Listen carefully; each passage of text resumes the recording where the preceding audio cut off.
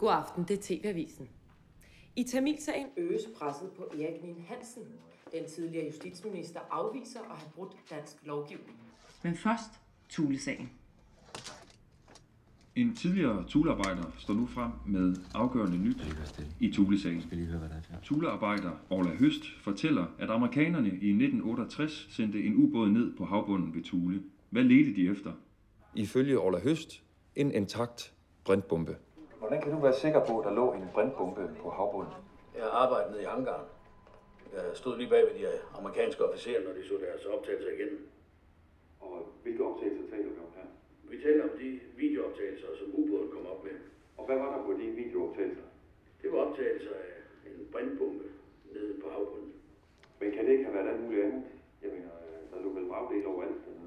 Jeg ved, hvordan sådan en bombe ser ud. Uffe Ellemann Jensen. Hvad siger du til de her nye oplysninger? Jamen, jeg betvivler ikke, at manden ved en masse om bomber, når han nu har arbejdet på Thulebasen.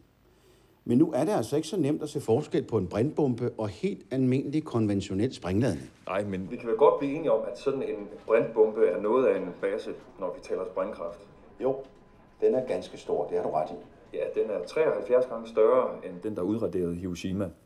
Og dem var der fire af. Lad os nu lige slå fast, at i tilfælde af flystyrt, så er den slags bomber jo designet til at gå i stykker uden atomeksplosion. Og det skete jo også her. Jeg har været i arkiverne i Washington, og i øh, disse to dokumenter, der omtales denne amerikanske ubåd Star 3, og at de ledte efter et såkaldt missing object. Ja, hvad tror du, der menes med det? Jo, men altså, de kan jo have let efter så mange ting. Ikke? Et meget godt bud ville være flyets sorte boks. Jo, men hvis der nu ligger en brintbombe i bugten, skal den så ikke hentes op? Sådan en bombe begynder vel at, at uh, lægge på et tidspunkt. Altså, der er intet bevis for, at der ligger en bombe ud for Thule. Det er jo så det, Orla Høst og dokumenterne her sætter spørgsmålstegn ved. Må jeg lige påpege, at jeg ikke var udenrigsminister i 1968? Nej. Altså, det her, det foregik under den socialdemokratiske regering Krav.